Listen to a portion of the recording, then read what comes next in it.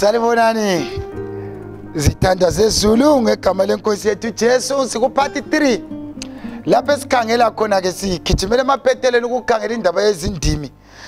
Ichapter ungananzelela ke isikhathi esiningi bathandekayo ejayele ukusiphica sibona ngani izindimi ke okhuluma ngezindimi lo bengazwakalanga ukhulume wathina ngeke ngizichasise angeke ngizilingisele futhi. Kodwa ke ndiyakwazi indlela esikhuluma ngayo labantu abakhuluma ngayo. Nxa siku-chapter 14 laphana sibona ngani iyasisekela asilandeleni ukuthi chapter. Ngalokhu ngitshile ukuthi umpostoli paul wayibhala lezi zinto-ke e-adresi inhlupho ezinye zazithile isipho sezindimanti ngitshile ukuthi sasichithiwe-ke um kakhulu ebantwaneni bakankulunkulu ukuze ivangeli lihambe fast. Ungabala u-first korinte ngu-14 ivesi-ke lingelika-1 ithi yona um nxa ibhala laphana isihloko isiphiwo sokutshumayela sidlula esokukhuluma ngendimi. Isizatho ngesani umuntu otshumayelayo uyamuzwa ukuthi uthini. Kodwa okhuluma ngezindimi isikhathi esiningi uziwa kumbe ulalelwa ngumuntu ozwa lolo limi kodwa-ke ongaluzwayo lolo limi usuke engabhenefithanga so mpostoli paul-ke nxa lapho kwasokungani sokuyinkinga endaweni yasekorinte abantu sebeconfused kungasakhanyi ukuthi omunye namhlanje ukhuluma isidachi ukhumbule lapho ekorinte bakhuluma ulimi lwakibo. Usubuyile wona uzokhuluma-ke isindebele sakho usufika ukhuluma oqala boci subuyile uzokhuluma isishona khonaphana sufika ukhuluma ora labo a subuya ngaphi umkhosi usufika ukhuluma lokhu lalokhu so people were bit confused ukuthi kathi manje umpostoli wasesithi a abantu indaba yezindimi a-a khuthalelani ukuchumayela kuloku kukhuluma ngezindimi. So-ke kasikhangeleni ukuthi ibhayibhili ithini um ithi ngoba okhuluma ngendimi kakhulumi ebantwini kodwa ukhuluma kuNkulunkulu ngoba ngakho omuzwayo kodwa okhuluma imfihlakalo ngomoya right?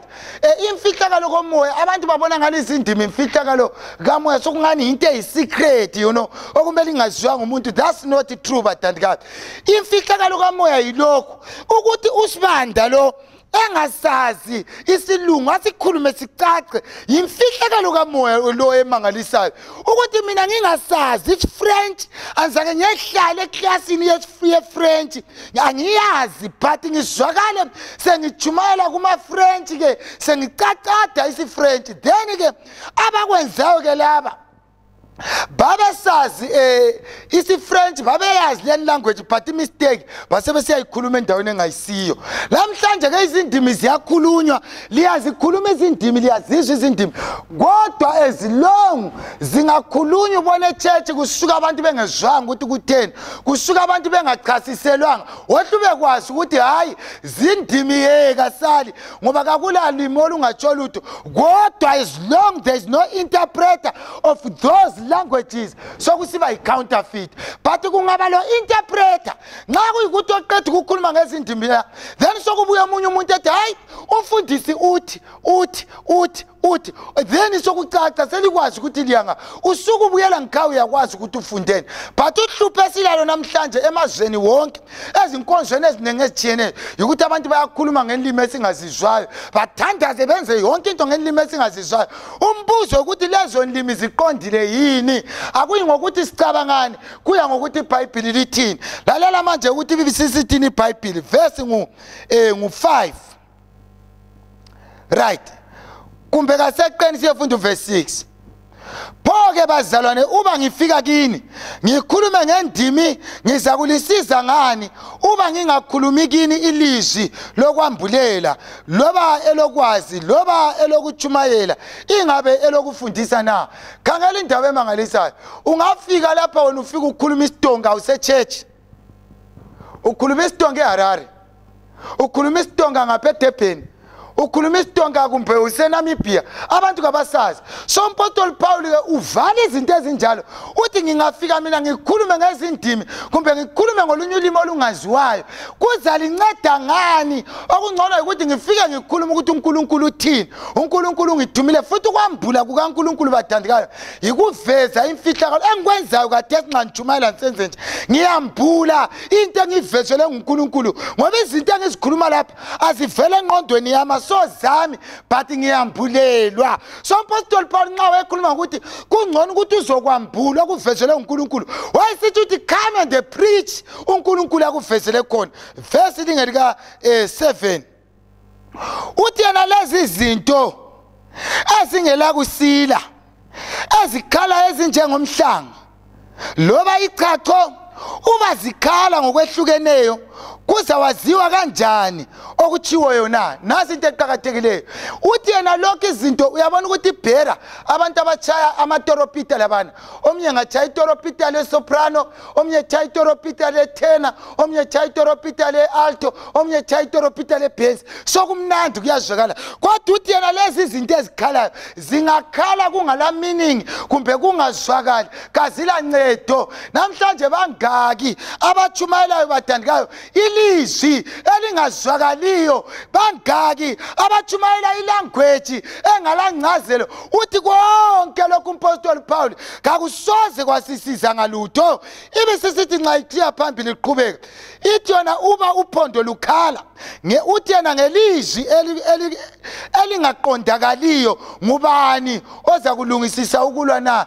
Ngesizathu sokuthi ngalesiyani isikhathi abantu nxa babesiya empini kwakulophondo olwalukhala zihlobo edandikayo lolo phondo loluthi ngathi poro bayakwathi lolu ngolwempini kungakhala olunye ingcela uthi bhophi bhophi bayakwathi lolu ngolwe-celebration. So uthi lolu phondo-ke olwezinlimi lolu lungakhala kungelangcazelo lungakhala endaweni lapho abantu abangazwisisi khona ngubani ozakwazi okumele bakwenze? Ngilapha ukuzoveza ukubana izinlimi esizikhulumayo kazibe lengcazelo bathandekayo. Alirong ukuzikhuluma kodwa izilonke ungalamuntu ochasisayo uyarong ngegama likajesu.